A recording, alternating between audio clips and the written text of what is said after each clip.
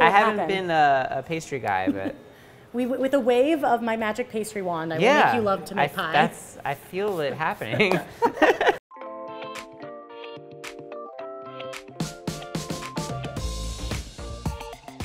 Welcome to the Food 52 Test Kitchen. My name is Josh Cohen. I'm the Test Kitchen Director here.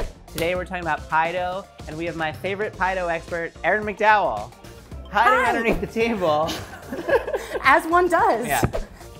The reason you're here today, the Food 52 community is always sort of peppering us with different questions about pie and pie dough. So we want to bring you in to give them like a, a broad Yes. range of knowledge and wisdom. Yes, it's my favorite subject to talk about, and I have a lot to say. Okay. So, my first favorite thing to just jumping off point. Yeah, like right off the bat. To start with mixing it. Okay. Because a lot of success can happen right there in the mixing bowl. We're going to talk about all my troubleshooting tips kind of along the way, and right. you won't fail. I'm here. I've got you. All right. We're going to Okay. make awesome pie dough together. I promise.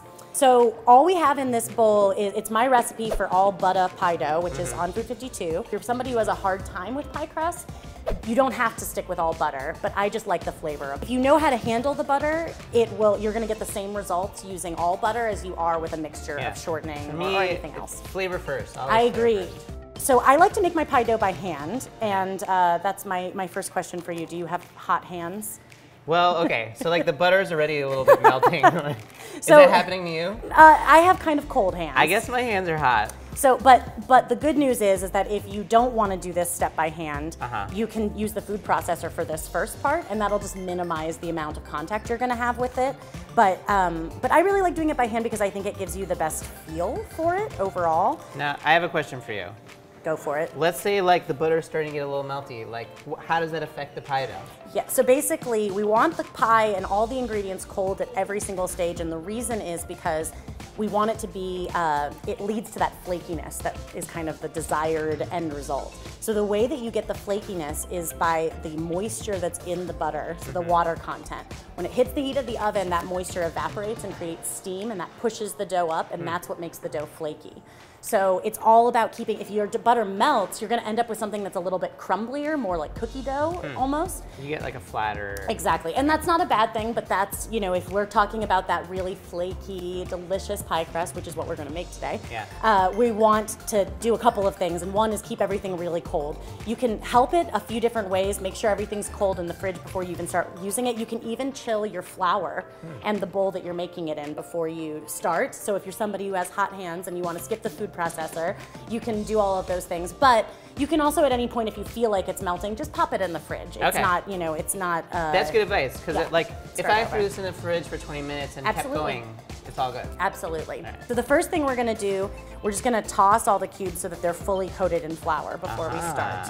And that's just sort of gonna help us with the process for one thing. Now there's a little layer of starch that's gonna prevent it from melting. Is this like a standard size butter cube or do you use larger cubes than the average I, recipe? I always start with about a half an inch cube. Uh-huh. And you don't need to go smaller than that. People are often actually surprised when we're done mixing this dough. People sometimes are really shocked at how little I've mixed the butter in. Hmm. So you definitely don't want to make them too much smaller than this. They could be a little bigger than this. It's just going to mean more time mixing. Um, so then what we're going to do is we're just going to take the cubes of butter and we're going to squish them between our fingers. This- Yeah. And every time you squish a piece, you kind of want to toss it, make sure it's still coated with flour. Okay. Um, it's just going to help it again from not melting, and it's also kind of getting them combined, which is what we're going. And basically, what we're going to do is we're just going to keep doing this, and, there, and until we get to the right amount. And how do you know what the right amount is? How do you know? Uh, for a flaky pie crust, which is what I usually use for like fruit pies, we would want to leave the butter about the size of walnut halves.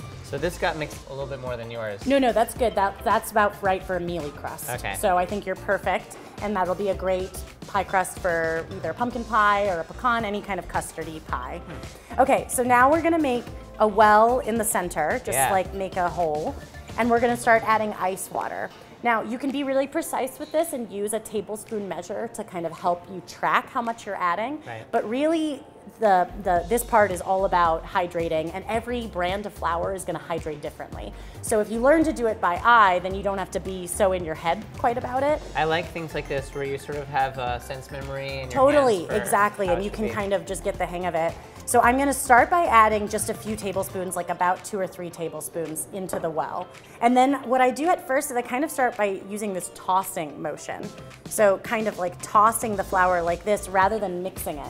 This just helps us um, build up less gluten while still combining the ingredients. Interesting. And I know gluten can be a dirty word, but it, it, sort of is uh, in pie crust because the more gluten you form, the tougher the dough is going to be. And that's going to be that thing you can't get your fork through it. Huh. You know what I'm talking about? So like, let's say, like if you have your kid helping you or Mm-hmm. something, and they're like kneading the dough, kneading the dough, you're gonna get a really tough crust. Let's put it this way. When I make pie dough with my nieces, Yeah. I'm doing this part. Okay. they, they squish the butter, I add the water. All right. So I'm gonna add another tablespoon-ish to my dough, and I'm just gonna keep doing this until it starts to come together. And as it gets closer, I like to actually kind of fold it over onto itself. It's kind of a kneading motion, Mm-hmm. but not as intense as bread kneading. You're just kind of being gentle with it. Right. Now, this is what always happens to me is like this much of my dough has come together and then this much is kind of powdery. Okay. So what I do is I literally just take that part that's all come together Oh. and I set it aside and I just add a little bit of water to this part. And sometimes at this stage when you only need a little more water, it can be quite difficult to just add a little. Right. So what I do is I dip my hands into the water and just like flick the water on it. And that way I'm not adding too much at one time. And when it's too dry, it looks sort of powdery and it doesn't hold together as well. But it can really be the matter of like a couple of drops of water to be just right. So you see it's holding together, but you can even see there's like visible cracks where it's still looking kind of clumpy. Yes, Right. you got it too. You're perfect.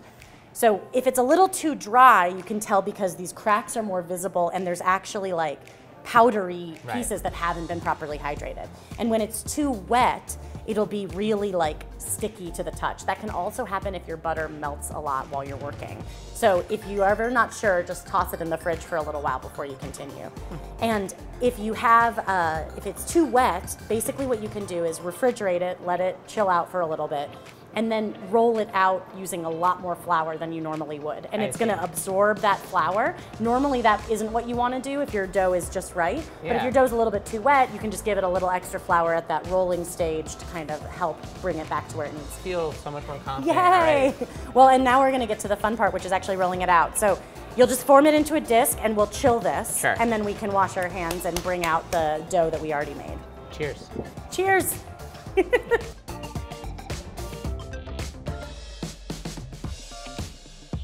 Okay, so we chilled our dough for about 30 minutes minimum. Okay. I like to chill it a little longer, but 30 minutes is usually enough to let the gluten relax and get your butter firm enough to roll. So um, we're gonna flour our surface, and what I like to do is actually be pretty generous with the flour at the beginning, and then ideally not have to add much more as I continue to roll. It is important to remember that all the flour you're incorporating, it is getting worked into the dough. Can a dough get too dry at this point though? Yes, it definitely can. So just be, you know, err on the side. Like I said, I kind of know about, you know, a small handful for me mm-hmm. is enough for me to roll out the whole dough, do this entire process.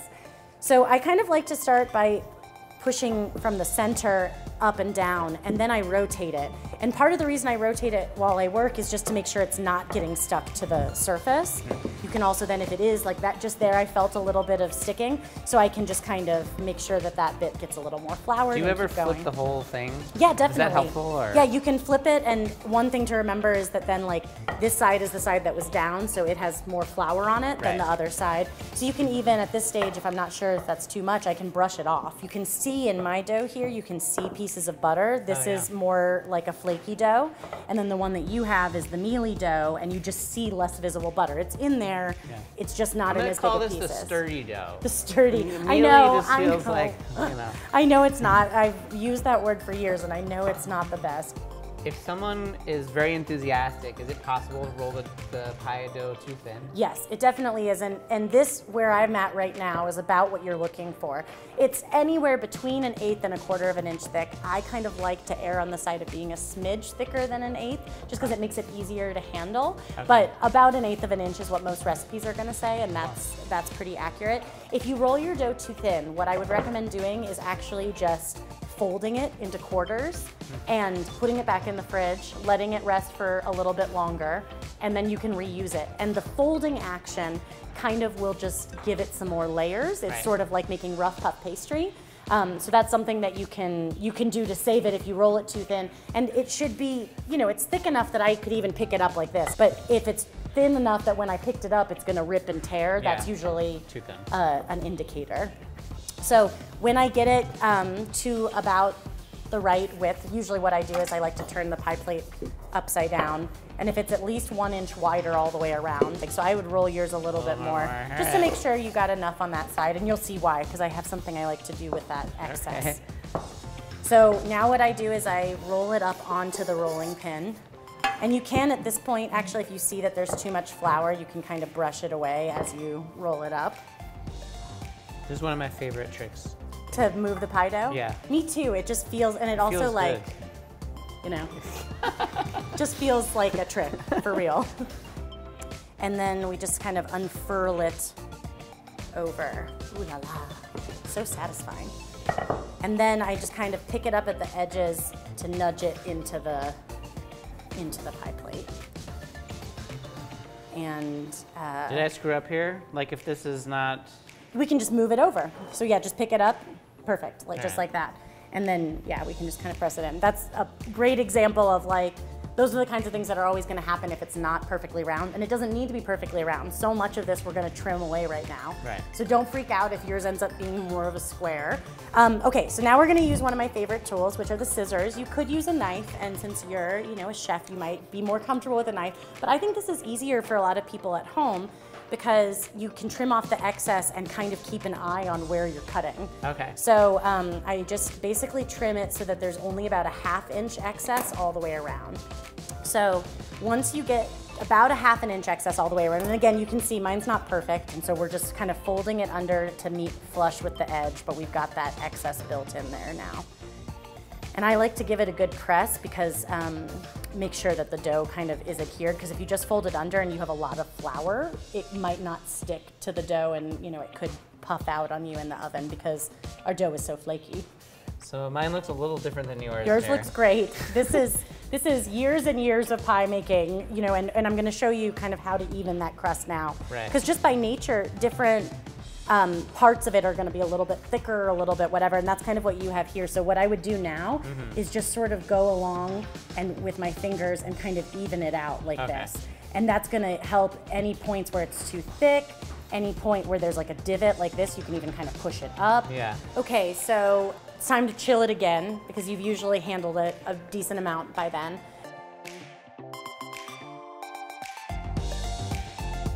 Um, so the first crimp is a classic finger crimp, and for that, are you left-handed or right-handed? I'm a righty. Okay, so it'll be the same, but you'll use you use your dominant hand to make like a V shape with your thumb and forefinger. Okay. You did it. Just like that, the pie is done. and then you'll use your non the pointer finger of your non-dominant hand to kind of press towards it and down.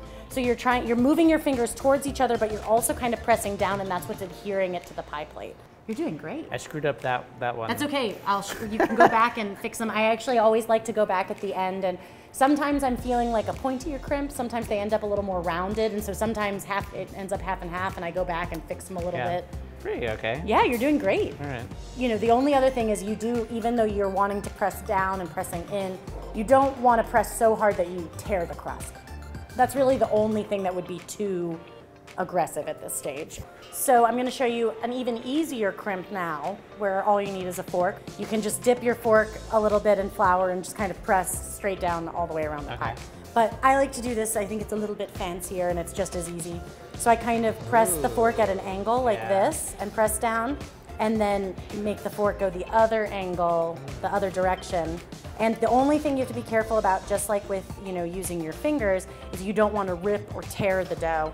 The main reason you want to avoid that is that you don't want to risk any filling leaking through the actual dough. That's going to make your pie get all burnt. It's gonna make it stick in the pan, make it hard to get a slice out. So you wanna use a firm but gentle hand. You just notice this pattern. It's very distinct Yeah, yeah. when it's finished. I actually, I enjoy doing this sometimes, but it is, you can kind of mix the crimp styles. You could, you know, do two forks like this and then a couple of finger crimps and then you could, you know, even do a finger crimp and press the fork in between the crimp. Yeah. Okay, so for a double crust pie, the whole style of how you get to the crimp is just a little bit different. So I wanted to show you that too. Okay. Um, since you've got two crusts, we've got our filling under there, some apples. So And the I- first crust is is what we did. Yep. But it's still hanging off. It's hanging you off. didn't fold it underneath. Nope, not yet. It's the same amount of excess, still a half an inch excess all the way around. Mm-hmm. We've got our filling in, and then we unfurled the top crust off the pin the same way that you would. The idea here is to press the top crust and the bottom crust together a little bit. So pretty firmly all the way around, I'm just gonna pinch the top crust and the bottom crust together. It's like a giant ravioli. It is. Now you're speaking my language. and you get pretty firm with it, just like you would with pasta to make sure that they're really like combined together. Yeah. And then I'll trim away the excess. okay. To about a half an inch again. Okay, so now I'm just gonna do the same thing that we did before and just fold this under all the way around the pie. And um, that way the top crust is like even tucked underneath the bottom crust. Yeah. So they're really, there's no risk of them kind of coming apart in the oven. So just tuck it under all the way around and then we're gonna crimp. And for this one, we're gonna do one of my favorite styles, which is called the rope crimp. This is easy. It's just the same exact technique, but with two doughs Exactly. together. Okay, so now we're gonna do the rope crimp, which is a pretty easy one. You just do it with your two pointer fingers like this. And you just kind of take the dough at an angle. You would just kind of put your finger at the base of where the last one ends and squeeze Huh. in between your fingers like that. This to me feels tri- like trickier than the other stuff. And it, it's funny because just in, I feel I like I didn't feel nervous until this. try this it out. I think it might be easier than you think. So you were doing like this kind of move. Yep, Can you just do it again? yep. All right, And all right. Oh, see? what if I smush it too much there? No, that's good. yeah.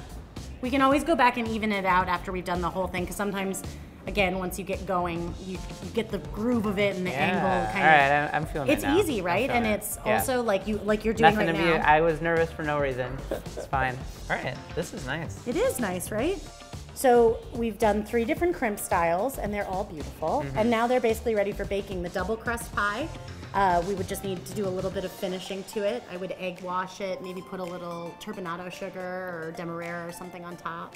With a double crust, do you always need to cut slats into it, or can you sometimes bake it with no air holes at all? It's pretty much better to cut the slats or the, the vents of Yeah. any sort because they're gonna let all the steam out and especially the steam from the fruit. Yeah. As the fruit cooks down, it's gonna let out a lot of steam and uh, it just makes for a less, it makes your top crust a little crisper if you let that steam vent I see. out. The one tip for cutting the vents in is to do that after you've applied any finishes like egg wash or sugar Okay. because those finishes can actually close the vents back up. These single crust pies would either be ready uh, to be filled and baked just as is, Mm. or you could par bake or blind bake them. if someone is totally inexperienced, what is par baking? What does that mean? So par baking stands for partial baking, Mm-hmm. and that's something that you might want to do for a pie crust or for a pie filling that has is wetter. So like a custard filling like pumpkin. If you've ever had a soggy bottom on your pumpkin pie, it's just because the amount of time it takes for that pumpkin custard to bake isn't as long as it takes for the full pie crust to bake. So before you add your wet filling, you want to do something with just the raw crust. Yes, you would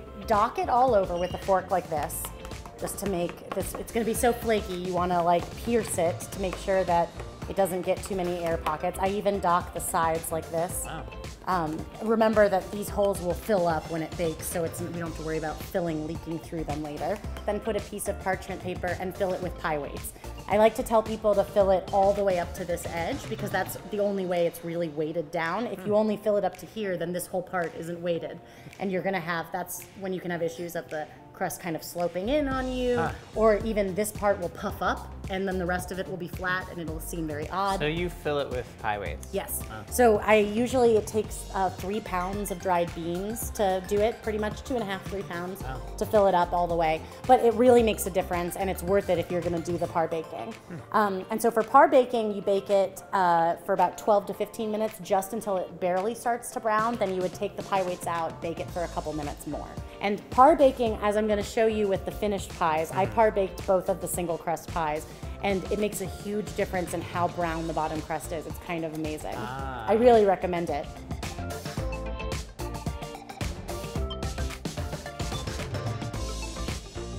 Time to taste some pie, right? Yes, please. Let's All eat pie. Now, before we get started, there's two people from the office who are going to come and taste some pie with us. hey guys. Hi.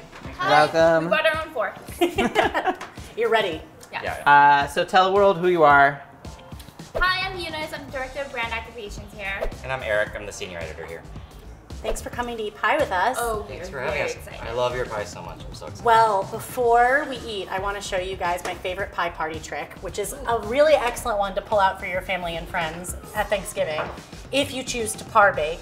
People don't always know this, but that if you bake your pie properly, it should pop right out of the pie plate. It won't stick in the pie plate at all. Oh, yeah. So we're gonna try it with this one and see. Usually it's a good indicator. You can kind of like twist it a few times. See, this one's gonna come right out. Uh-huh. So I'll just kind of grab it underneath. oh my god. Wow. Yeah, that's Ooh la perfect. la. That's Ah, nice. and then you can just cut it right on the, the thing, right? It's kind of amazing. Yeah. Okay, so for our taste test, we're kind of focusing on the crust today. I can cut right on here, right? Yeah, yeah. How'd you get it so perfect? Well, this... My pumpkin pie is always the crack. this is an uncrackable pumpkin pie because it doesn't have eggs in it. Ooh, look at that. Oh. I love that. That's See, I would just eat it like, Like a pizza. Yeah. right now. You want to hand me one of those plates? yeah. I don't want to share. Okay, okay. Um, Erin, can you? So, what are your thoughts on ceramic versus glass? Ceramic is my favorite because Yeah. it conducts heat the best. Glass is my second favorite just because you can actually look at it and yeah, see if it's brown enough. Yeah. And then my and then metal, they really all work well. Yeah. It's just a matter of understanding what you might need to do to tweak and, and so you might want to if with metal pans since they don't conduct heat quite as well, they might have you might want to par bake. Right. That's what it comes down. I'm down. laughing because I heard like part of that because I was already just eating the pie. so- It's so insane. Like this is such a thin I have bottom, a fork but too. it gets so flaky. Um, like the sound that my fork made as I I know, I love that sound, so right? crazy. Oh, I'm never I'm just so amazed by like the, how flaky the bottom is. And Not. again, this is still the mealier crust, but it Yeah. still is flaky. That's why I like hesitate to use those words Right. sometimes. But my other favorite part is that your fork can go right through it because Yeah. you don't want a tough pie crust at Thanksgiving. Tell us about the apple pie. So this pie, my, one of my favorite things is that we do this technique where you fold under at the edge, and it mm-hmm. actually makes it even flakier. Yeah. So you can see it right here, and you can see it on your slices too. You Well, you've see- combined like two crusts, basically. Exactly. right? And so not only is the dough already flaky, but then when you fold it under, you're almost making more layers, and you can see that in the. So So now this you is guys- well, this is like the single crust, Right. Uh-huh. and then this is like a bottom and a top combined awesome. to create that extra. It's And you do have to be careful. The thicker your crust is at the edge, it's easier to crimp, but it also takes longer to bake. Yeah. So I always give people the advice that you really shouldn't be afraid of taking your pie like too far, except for maybe things like it cracking. So taste that flakiness. Will. Yes. It looks like a kouign-amann. Like Yeah, I this was part. thinking about that. You like, did you do an egg wash and a brown sugar? Yes, egg wash, and I like uh, turbinado or demerara sugar on the on the top of it. Um, sorry, what, what kind of pie was this? This is the cider caramel apple pie. Nice. Okay. And what do you think Wait. about the difference? No, no, I'm not going to get rid of them. No. I was cleaning up the pie crumbs, and she got. Hold on, open your mouth. I'll sprinkle them in. Oh my god, I was thinking like pie, like confetti. they are precious. I won't get rid of them. it. I'll just eat from here. But what do you guys think? The pie crusts are actually really similar. The Yeah. only real Yeah. difference is, is and because that's the thing I think people they don't want their custard pie dough to be any less flaky. But just by that little addition, oh yeah, look at that. That modest little piece right here. Yeah. Just by that little addition of mixing the butter in a little bit more, it just makes it a little bit sturdier and easier to work with. Mm-hmm. And you'll even kind of see it. It's harder to look at the bottom crust on a juicy pie like Right. this. But like you can see that it's the nice thing is is that it's browned, but we still have a nice thin layer Yeah. because if it's too thick, it'll be hard to get your fork. On the flaky crust, do you think you can taste the butter more, or is that I in my of, mind? I kind of do. I've Yeah. always sort of felt that because there are bigger patches of it when it goes in. That was my first impression between the two crusts. That this is like a little more toasty, maybe, and this is buttery. Yeah. Yeah, and the, the ratio is exactly the same though, so it is just a matter of manipulation. And I like that. I like having one solid base recipe Yeah. Yeah. that you know how to handle and you can make a couple different things Yeah. with it. Thank you guys so much for coming and tasting the pie. Oh my Do you- gosh. Do you Yeah, like the difference? Yes, I love it. I'm definitely gonna make this one and this one, and then And then you're gonna take that with you? well, I think. I can I can accept that. And oh, then- and that one. Bye. Have But fun. you, like, you can take it. To Have a good day. So, I, for me, I think the thing I'm going to take away is the same exact ingredients can yield two slightly different pie pie doughs. Totally. Depending on how finely you work with the butter. Absolutely, and getting in there with your hands kind of allows you to feel those differences Yeah. and know what you're working with, and then it kind of comes down to muscle memory. The more pies you bake, the better at it you're gonna get. And even if you think a crimp is very difficult, Josh is proof that they're all Yeah. very doable. If I can do it, then anyone can. well, should we have a pie crust cheers? We had one with our raw dough. Cheers! Thanks for tuning in. I'm gonna eat this whole thing. Me too. Already did.